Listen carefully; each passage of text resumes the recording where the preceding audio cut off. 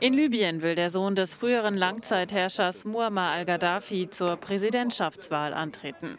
Saif al-Islam al-Gaddafi habe sich dafür in der südlichen Stadt Sabah als Kandidat registriert und sich als Wähler eingetragen, bestätigte die Wahlkommission.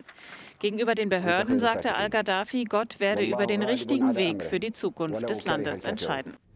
Internationale Staats- und Regierungschefinnen hatten am Freitag bei der Libyen-Konferenz in Paris auf die sichere und transparente Durchführung der Wahlen in dem Land gedrängt.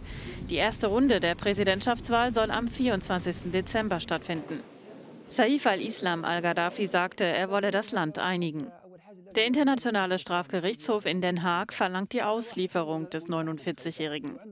Zudem wurde al-Gaddafi 2015 von einem Gericht in Tripolis in Abwesenheit zum Tode verurteilt.